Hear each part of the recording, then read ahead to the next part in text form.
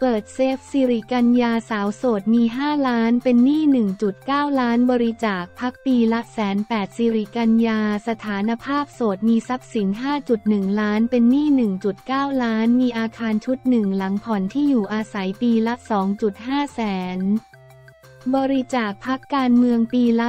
1.8 แสน เมื่อวันที่ 6 ตุลาคม 2566 ที่สำนักงานคณะกรรมการป้องกันและปราบปรามการทุจริตแห่งชาติ ปปช เปิดเผยบัญชีแสดงรายการทรัพย์สินและหนี้สินของผู้ดำรงตำแหน่งทางการเมืองสส จำนวน 78 รายที่เข้ารับตำแหน่งเมื่อวันที่ 4 กรกฎาคม 2566 มีบุคคลน่าสนใจคือนางสาวสิริกัญญาตันสกุล สสบัญชีรายชื่อและรองหัวหน้าพักก้าวไกล โดยนางสาวสิริกัญญาแจ้งสถานภาพโสดมีทรัพย์สินทั้งสิ้น 5 1 29,660 บาท ประกอบด้วยเงินฝาก 269,505 บาท เงินลงทุนในกองทุนต่างๆ จำนวน 19 แห่งรวม 99,954 บาท โรงเรือนและสิ่งปลูกสร้างโดยเป็นอาคารชุดหนึ่งหลังที่เขตพญาไทกทม มูลค่า 3 ล้าน6แสน9หมื่นบาทสิทธิและสัมปทานโดยเป็นกรมธรรม์ประกันภัย 2 รายการ 262,000 บาท และมีหนี้สิน1ล้าน9แสน61,419 บาท โดยเป็นเงินเบิกเกินบัญชีและเงินกู้จากธนาคารและสถาบันการเงินอื่น มีรายได้ต่อปี1ล้าน5แสน67,720 บาทเป็นเงินประจำตำแหน่งและเงินเพิ่ม1ล้าน3แสน62,720 บาท เบี้ยประชุม2แสนบาท เงินปันผล 5,000 บาท มีรายจ่ายต่อปี1ล้าน1แสน85,000 บาท เป็นค่าอุปโภคบริโภค7แสน20,000 บาท ค่าผ่อนที่อยู่อาศัย2แสน50,000 บาท เบี้ยประกัน35,000 บาท เงินบริจาคพักการเมือง 180,000 บาท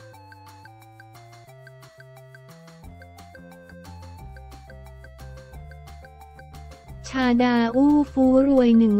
147 ล้านวัวควายเทียบที่ดิน 57 แปลงปืน 23 กระบอกสถานภาพหย่าปปช เปิดบัญชีทรัพย์สินชาดาอู้ฟู147 ล้านมีทั้งวัวควายม้าที่ดิน 57 แปลงในใจ อุทัยธานีพระเครื่อง 18 องค์ปืน 23 กระบอกสถานภาพหย่าวันที่ 6 ตุลาคม 2566 ที่สำนักงานคณะกรรมการป้องกันและปราบปรามการทุจริตแห่งชาติ ปปช เปิดเผยบัญชีทรัพย์สินและหนี้สิน ของนายชาดาไทย เศรษฐสสอุทัยธานีพักภูมิใจไทย และรัฐมนตรีช่วยว่าการกระทรวงมหาดไทยเข้ารับตำแหน่งเมื่อวันที่ 4 กรกฎาคม 2566 จำนวน 78 รายมีบัญชีทรัพย์สินที่น่าสนใจชาดาเผยเด็ก 14 ปีน่าสงสาร แต่ผิดก็ว่าไปตามผิดแจงดราม่ายกนิ้วโป้งยันไม่หิวแสงอมรัตน์ติงชาดาไม่ใช่กิจรัฐมนตรีโผล่พารากอนคุยเด็ก 14 ชาดาว้าวุ่น เซลฟี่เหงาเหงาๆพร้อมแคปชั่นเด็ด FC แห่กดไลค์รัวๆนายชาดา แจ้งสถานภาพอย่ามีทรัพย์สิน 147ล้าน727,537 บาท 25 สตางค์เป็นทรัพย์สินของนายชาดา 147ล้าน516,719 บาท ทรัพย์สินของบุตรที่ยังไม่บรรลุนิติภาวะ 21818บาท ประกอบด้วยเงินสด 1.2 ล้านบาท เงินฝากในบัญชีธนาคาร 17 บัญชีรวม 17 ล้าน 489,296 บาท ชาดาไทยเศรษฐ์ สส.อุทัยธานีพรรคภูมิใจไทยเงินลงทุน 15 ล้าน 439,600 บาท ได้แก่หุ้นไทยฟู้ดเน็ตเวิร์กทีวียิงจำนวน 20,000 หุ้น มูลค่า 689,000 บาท มีโค 156 ตัว กระบือ 135 ตัว และมา 2 ตัวที่ดิน 57 แปลง มูลค่า 40 ล้าน 187,640 บาทที่จอ อุทัยธานี นครสวรรค์ กทมสิ่งปลูกสร้าง 5 หลังมูลค่า 16.2 ล้านบาทที่จอ อุทัยธานีและกทม รถยนต์ 5 คนและรถจักรยานยนต์ 7 คัน มูลค่า 4.85 ล้านบาท ชาดา ไทยเศษรัฐมนตรีช่วยว่าการกระทรวงมหาดไทยสิทธิและสัมปทาน 10 ล้าน 347,82 บาท และทรัพย์สินอื่น ๆ อีก 41 ล้าน 810,000 บาท อาทิพระเครื่อง 18 องค์ มูลค่า 14.9 ล้านบาท แหวน 11 วงและพลอย 2 เม็ดมูลค่า 2 ล้านบาท นาฬิกา 24 เรือนมูลค่า 11.9 ล้านบาทสร้อยคอทองคำขาวจี้หยก และแหวนหยก 5 ชั้นมูลค่า 2.5 ล้านบาท อาวุธปืน 23 กระบอกมูลค่า 1.3 ล้านบาท ชาดาสอสออุทัยธานี ทั้งนี้นายชาดาแจ้งตอบ ปชว่า ได้ขายนาฬิการิชาร์ดมิลไปเมื่อวันที่ 18 ธันวาคม 2564 ราคา 8 ล้านบาท นอกจากนี้แจ้งว่ามีหนี้สิน 549,797 บาทจากเงินเบิกเกินบัญชี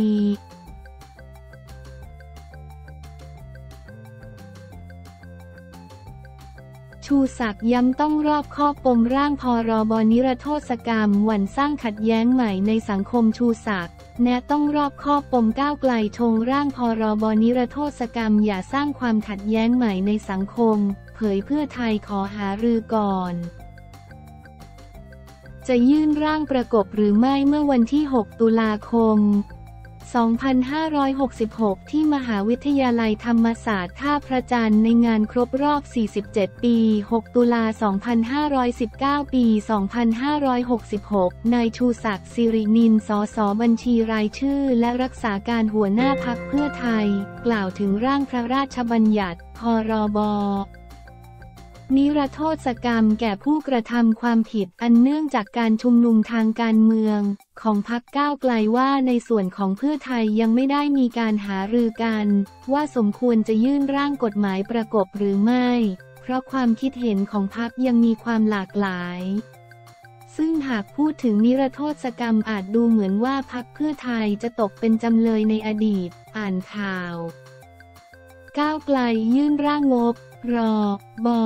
นิรโทษกรรม คดีชุมนุมการเมืองเริ่มตั้งแต่กลุ่มพันธมิตร นายชูศักดิ์กล่าวว่าการนิรโทษกรรมมีสิ่งที่ต้องระมัดระวังอย่างยิ่ง อย่าให้ร่างกฎหมายนั้นไปสร้างความขัดแย้งในสังคมมากขึ้น จนกลายเป็นประเด็นใหม่ของความขัดแย้งในสังคม ราะปัญหายังไม่จบว่าอะไรคือคดีการเมือง หรืออะไรคือการแสดงออกทางการเมือง ต้องหารือให้มีความชัดเจนไม่เช่นนั้นจะโต้เถียงกันไม่จบ แม้ว่าร่างของพรรคก้าวไกลจะมีคณะกรรมการขึ้นมาวินิจฉัยคดีได้เข้าหลักเกณฑ์ เช่น จะรวมคดีอะไรบ้าง มาตรา 112 เอาหมาย 113 เอาหมาย 114 เอาหมายคดีชุมนุมทางการเมืองรวมถึงอะไรบ้าง ควรจะพูดเรื่องนี้กันให้จบให้ตกผลึกไม่ เช่นนั้นนำเข้าไปพิจารณาจะเป็นปัญหาความขัดแย้ง